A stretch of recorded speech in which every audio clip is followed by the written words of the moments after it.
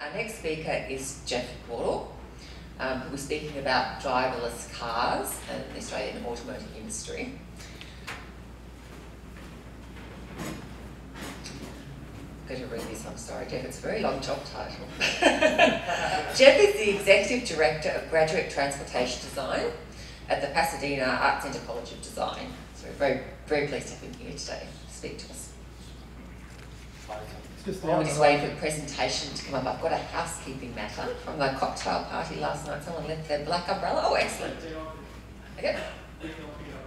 Yep.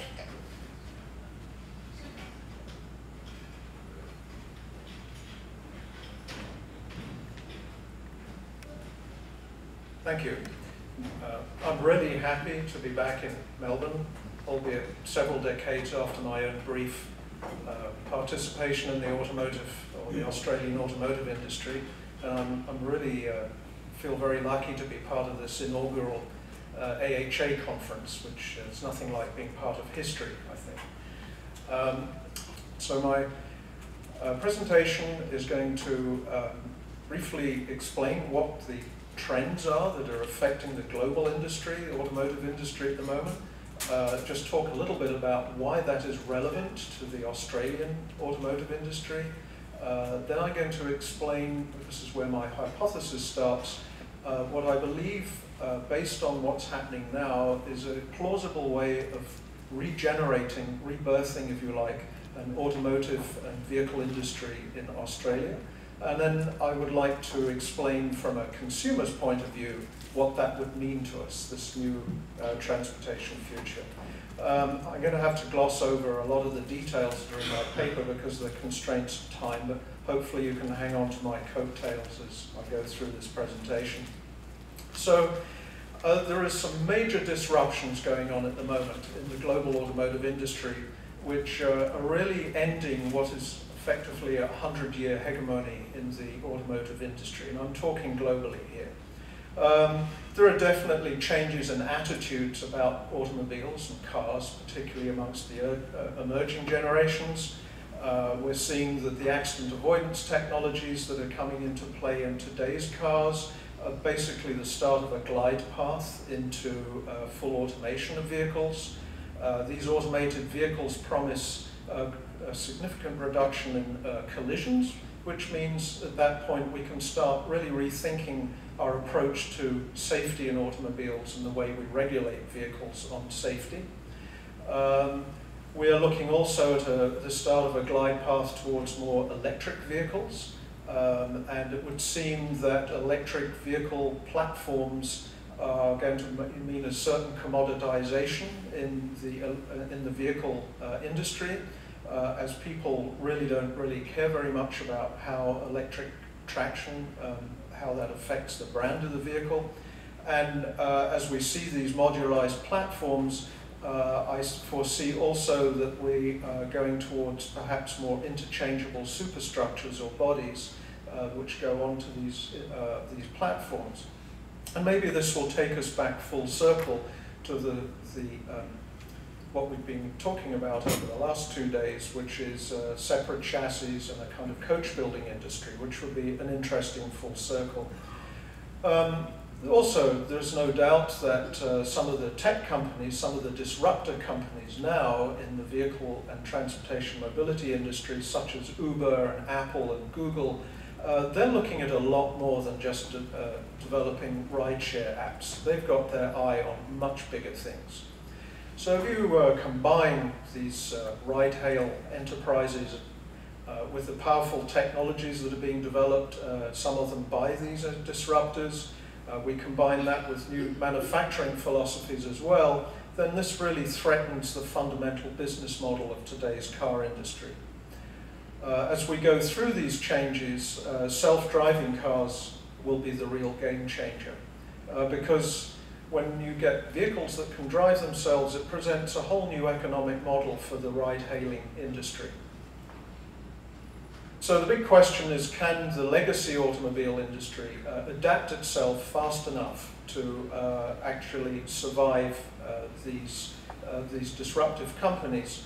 uh, and uh, coexist alongside new enterprises that have very, very different understandings of revenue, uh, revenue streams and, and profit margins.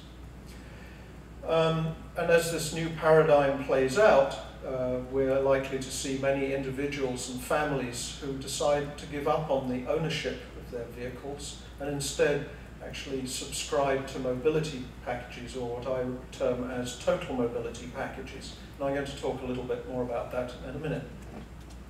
And many enterprises will end up now competing in our personal mobility industry. There will be the OEMs who do figure out how to change. Uh, there will be the new tech companies, some of which we've never even heard of yet, and then there'll be other amalgams perhaps of ex-OEMs and uh, new tech companies and other vested interests.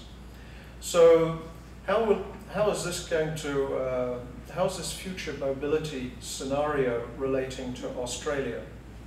Well, I think there are huge opportunities that will come out of um, new uh, alignments and new collaborations amongst um, amongst the automotive, existing automotive industry, albeit without the manufacturing side, since Ford, GM, and Toyota are pulling manufacturing out.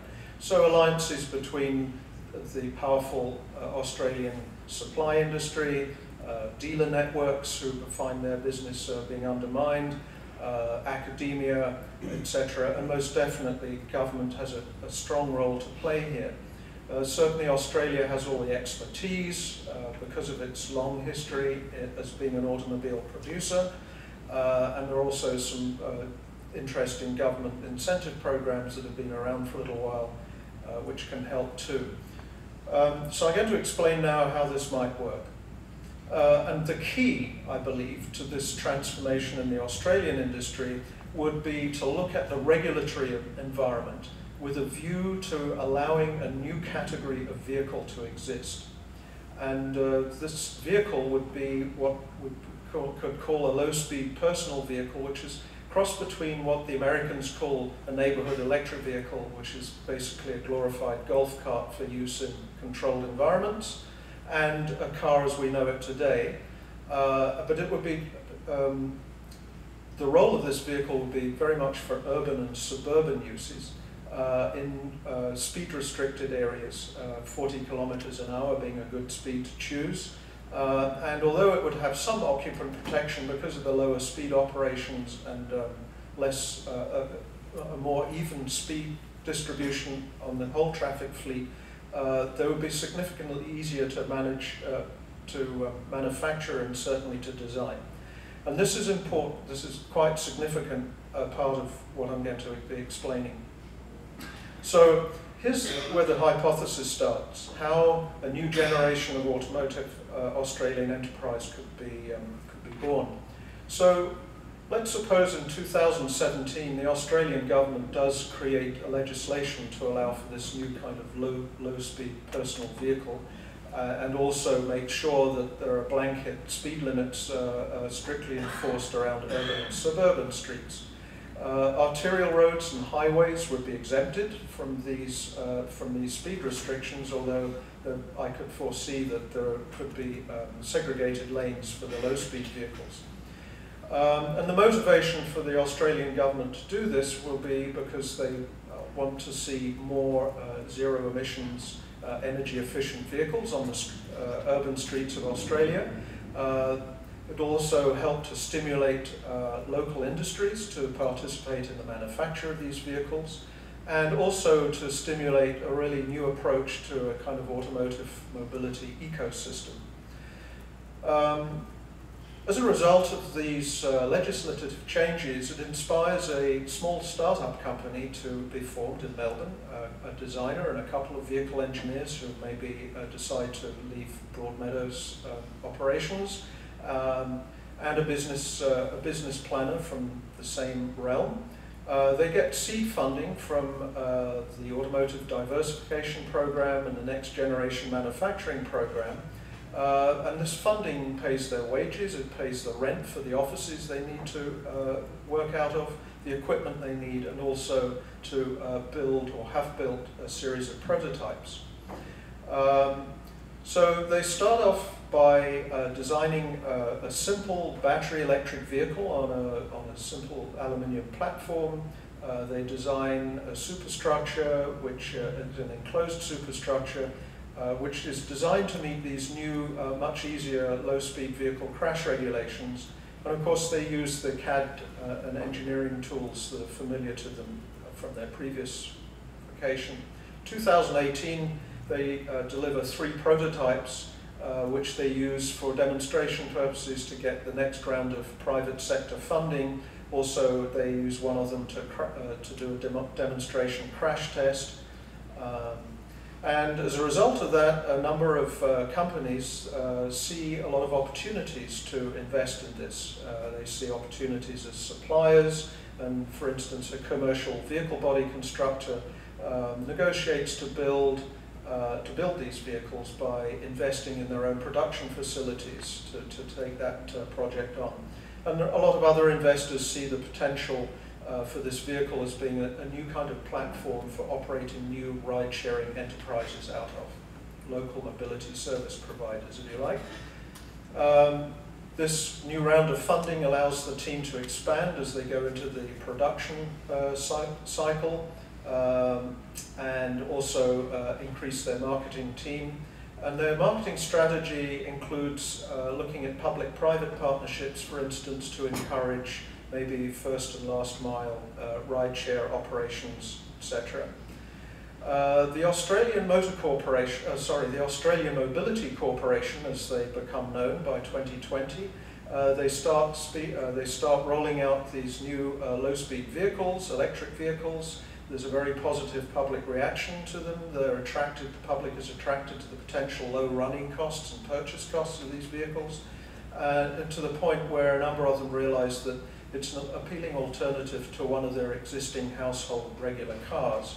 Um, now uh, the AMC, Australian Mobility Corporation, starts to work with the government to assess what regulatory changes now need to be uh, uh, made to allow for driverless versions of these low-speed vehicles, low-speed driverless vehicles.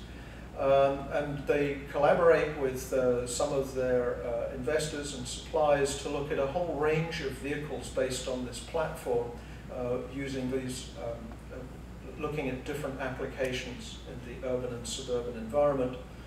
Uh, and they also do a lot of research with uh, local academia and some of their suppliers and looking at the new kinds of manufacturing techniques which Mark was just talking about, which would allow uh, for these vehicles not to be made in just one plant in Melbourne, say, but be to be distributed around the nation or even beyond on a, on a licensing basis. Um, in 2022, uh, AMC becomes a truly vertically integrated uh, car company. Um, or I should say a mobility provider. So apart from uh, designing and uh, participating in the manufacture of the vehicles, it also has its sights set on being actually mobility service providers as well.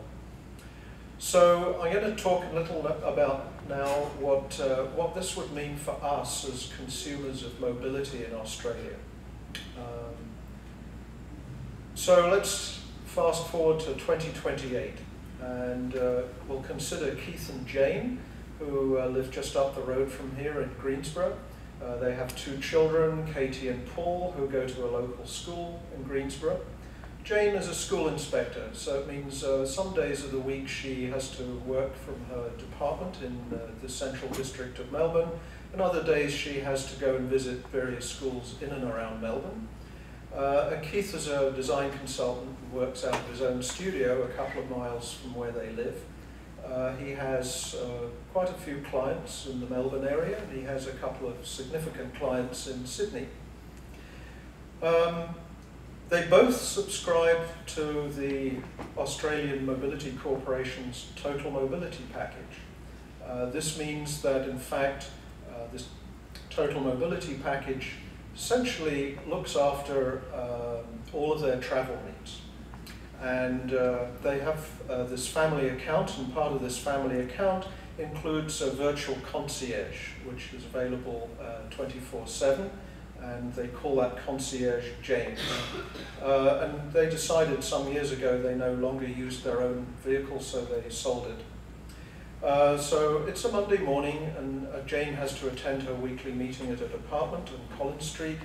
Um, James knows her routine already. She confirms uh, pick up at 8.15 the next morning, uh, on the Monday morning by uh, reminding her on the Sunday evening, and again reminds her 15 minutes before the vehicle arrives. And sure enough, a small one plus one urban runabout arrives on time.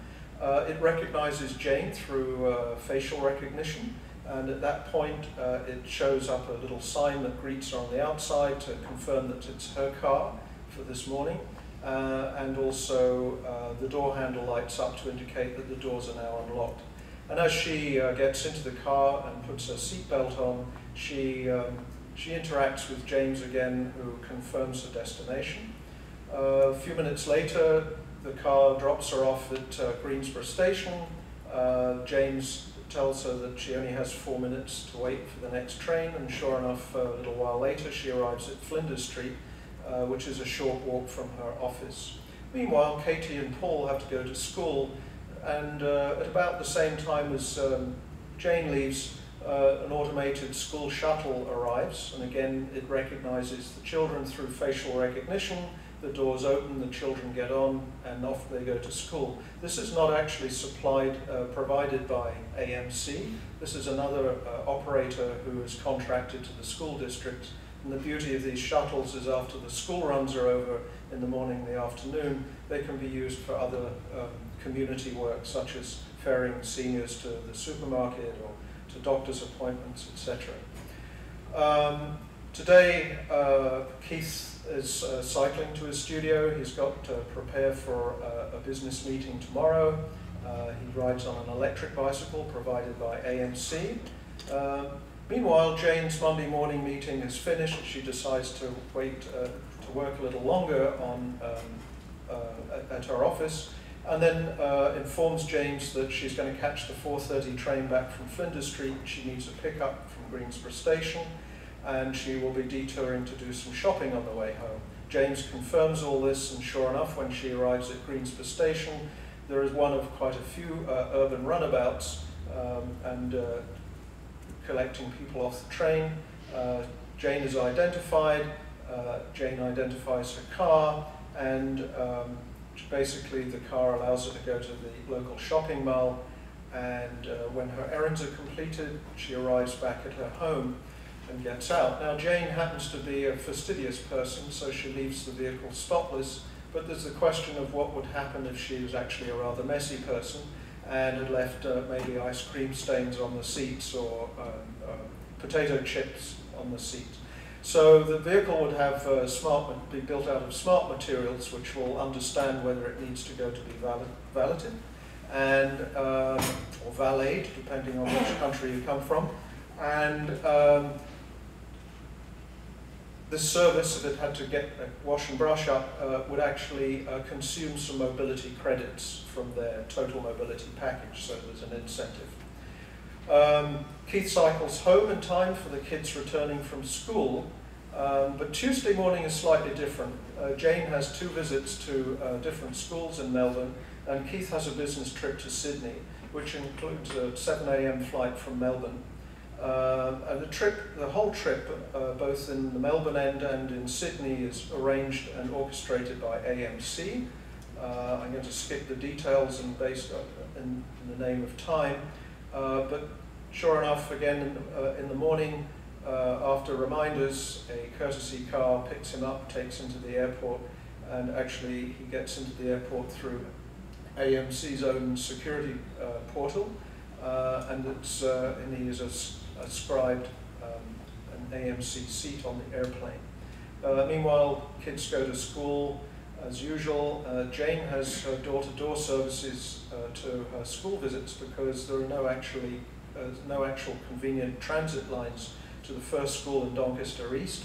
Uh, um, and similarly, when she's finished there, to get to uh, St Bernard's Primary near Coburg, there is not, not good transit there either. So it's best for her to have the urban runabout service to take her between these appointments. And sure enough, uh, On her way home, there is good transit from Coburg back to Greensborough, and so she chooses to use that because it uses a lot of uh, a lot less mobility credits from their account. So that's a very brief um, overview of what a total mobility package would look like in this new Australian automotive uh, industry. Um, it's hypothetical, but I think it's based on a lot of trends which are actually happening now that we're seeing. Um, it would leverage significant current Australian assets that we have in the automotive industry. Uh, and at the same time, it no longer has to rely on overseas corporations to deliver either. Um, I think it's very urban, uh, sorry, very relevant to urban situations uh, and suburban situations and I think there is an opportunity to greatly increase the quality of people's lives.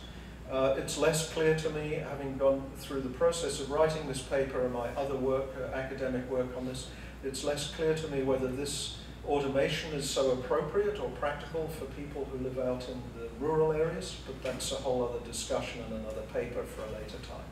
So thank you very much, and if you uh, have any questions, I'll be happy to try to answer them.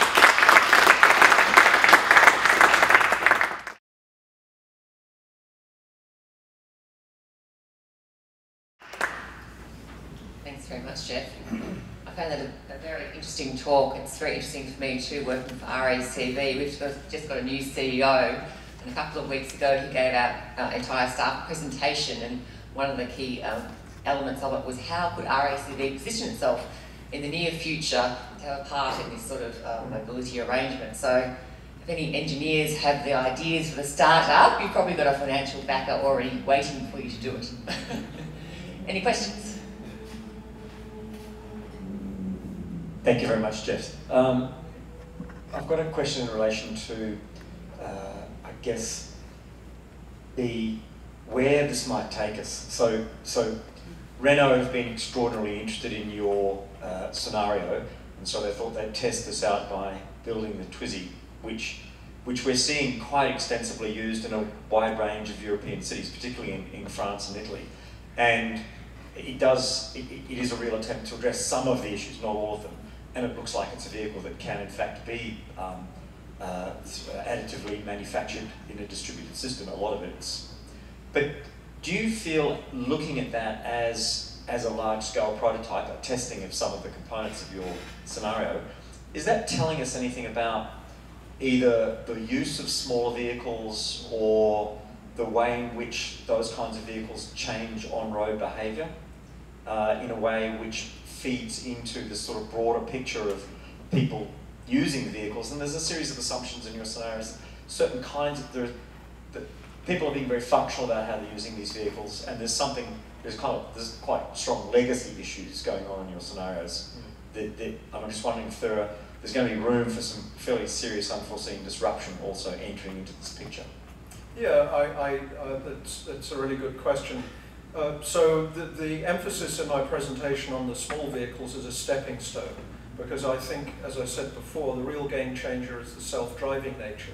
And um, the other aspect of the smaller vehicles is that, you know, for in most metropolises, 85% of people drive by themselves, and yet we drive around carrying around spare seats. We all, we all know that, that, that theory. So um, the, the point being that in this scenario of a total mobility package, you get exactly the kind of vehicle that you would need.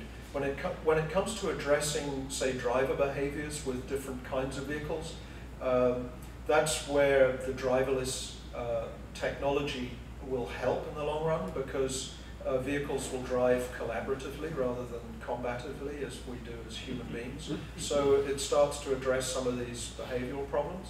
Now, I don't underestimate that there are a lot of, um, th th there's a lot of, uh, uh, as you say, behavioral legacy, if you like, in drivers as well. Uh, I just happen to believe that when this sort of technology actually gets beyond the beta testing phase, uh, I think people are going to adapt pretty fast when they understand the benefits that this kind of thing can bring.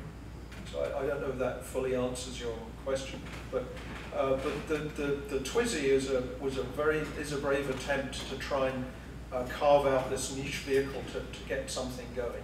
And, uh, but it does require legislative uh, support. That, that's the thing. I mean, the, we can't drive vehicles like that on the roads here yet, and certainly not in the US, although it's talked a lot about. Can I uh, just ask you if you, you might consider taking that whole scenario logically another step forward, um, something I've thought about a lot over the years in, in how mass transport systems could change totally where you wouldn't bother even to go to the train. But these, you have modular or podular vehicles that transport you from locally, and this has always been the greatest benefit of the car, you can use it to go exactly where you want to. And you could do that with this scenario, but when you want to go long distance or into the city, you actually join a pod line, if you like, that, that the driverless system takes you to that pod line, you, you go with everyone else, you're all going the same speed, you're all going in the same direction, there's no more accident problem and you've got crash avoidance anyway, and you peel off where you want to and keep going. And for that reason, I've often argued that we should, even in this day and age, excuse me, we should be still uh, designing elaborate freeway networks everywhere that will actually provide the corridors for our current type of vehicles, but in the future, give you the avenues already in place so that no matter what form this mass transport system takes, it can use that corridor. And you add to it however you need to. Um, I have thought a lot about it, and I have to be very careful where I say this, but I, I, I can argue for the fact that the future of mass transit will be the automobile. Um, I'm not an apologist for the automobile industry by any means. I'm kind of agnostic about transportation modes. But um, actually, if people are making their journeys in, in a vehicle which is precisely matched to their needs and therefore energy efficient, uh, a case can be made that it's far more efficient than 40 people uh, riding around in a 500 ton train. Um, so, and of course you do have the flexibility. But um, yes, as regarding infrastructure, we, we live in a world, well certainly in the Western world, where there is very little political or economic will to build new infrastructure. So I think what we have to do is to make sure that we use our existing infrastructure a lot more efficiently than we can now. And again, the, the automated vehicle, because of its more uh, collaborative uh, driving habits, uh, has a great opportunity to do that. Uh, but, but, but we should talk more about that because I think there, I think there is some definite, the, the idea can be extended a lot further than I've just explained. Uh, thank you very much. I've got a question in relation to an evaluation of all the costs that these uh, might have, uh, uh might take, including, for instance, uh, the fact that a lot of taxi drivers will lose all their jobs, and also in relation to the fact that uh, one of the uh, good thing of having something driveless is that you can use that time in order to do something else. In here, for instance, uh, uh because the car doesn't pertain to the family, they have to wait, so to book the car and wait. And and so they are in some way wasting their time waiting and at the same time when they are using the car you need well i think that the the benefit of drive driverless is related to the fact that during the trip you're not just observing the landscape, you are doing something related to your work or related to something else. And even that factor should be factorized, according to me, in a cost-benefit analysis. So I was wondering if a cost-benefit analysis that have been done considering extensively cost and benefit of a project like this. Um, I haven't done such a cost benefit analysis. Um, your, your first part of your question, which is about, uh, for instance, taxi drivers who lose their jobs, uh, that's a whole other discussion, I think, connected with automation generally. It's a big societal, quest societal question which we need to ask uh, about how uh, people who do lose their existing jobs can get, um, can get um, appropriately redeployed. Um, if we look at the bigger picture of what I've just talked about, actually the, there are, there, are, there are a lot of opportunities for businesses who are going to be threatened by this scenario to actually participate in the new one. And a, an obvious example would be dealers, uh, vehicle dealers. If we're, if we're not buying cars anymore, uh, we don't need dealers. But on the other hand, that valeting uh, situation, uh, these vehicles that are running 24-7, uh, they are going to need regular maintenance and checkups and cleaning. And so I could see the future of dealers actually being the service agents for the different brands that run these op operations for, uh, all, all, over, all over the metropolises. For instance, excuse me? Yeah, they're set up. Yeah. So there are, it, it's interesting to, uh, your question is interesting because it, it's certainly a lot of um, economic uh, studies need to be made about where these opportunities are. Um, I can't predict how it will turn out at the moment, but uh, uh, I think that we're a pretty adaptive species, so as these technologies roll out, I think people are going to be fairly fast to see where there are, where there are business opportunities. Hey, thanks, Geoff. That was awesome. Um, got two questions. The, the, the first one, well, I, the, the, in terms of this already starting up, well, there, there is um, one of those open source Tabby platforms. I know there's one in in Melbourne right now, and somebody is actually working on developing that. And one of the one of the um, embodiments of that is actually a networked vehicle, and there's there's a group of people overseas who are working on that at the moment too. So the, this platform's here, people are working on it. The government still hasn't, um, and I, I, think the, the regulation is the L6E. Is it L6E mm-hmm. for um, low-speed electric vehicles um, up to 40 kilometres an hour? Um, what what role does the government play as a strategic um, thing or a strategic move to enable these? And what role do you see the tactical, everyday startup, like Uber esque type um, application of these things? And how can we kind of mediate between those two? I guess this is more than two questions, isn't it? Yeah. Um, how can we med mediate between those two, but then also prototype it so that we don't end up where we where we've ended up now? Mm. Um, so I think there is a, uh, I think there is a role for, uh, uh, for, for the uh, product development community in the automobile industry, designers and engineers, um, need to uh, need to roll their sleeves up a bit, and if they're interested in developing this kind of scenario, of actually uh, being uh, willing to work with the respective government agencies that are responsible, or the regulators.